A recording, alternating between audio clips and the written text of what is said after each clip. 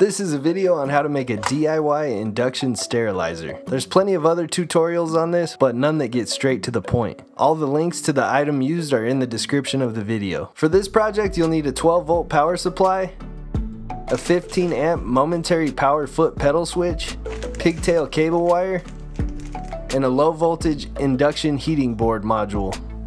The first thing you want to do is loosen these two screws on the heating board module.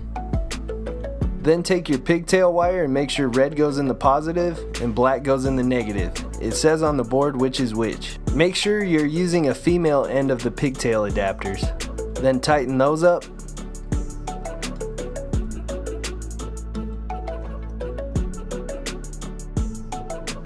Unscrew both outer screws on the coil side of the board. Insert the coil into the outer receivers.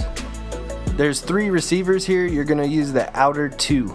The coil's kind of tough to get into these. You gotta kind of turn the coil back and forth and push to get it in there.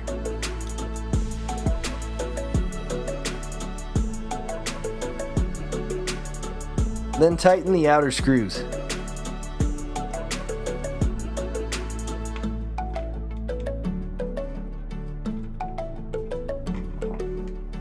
After that, plug in the power adapter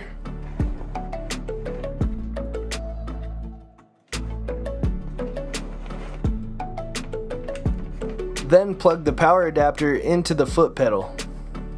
Then plug the foot pedal into the wall. When you push down on the foot pedal, a blue light will come on on the inductor, letting you know that it's working.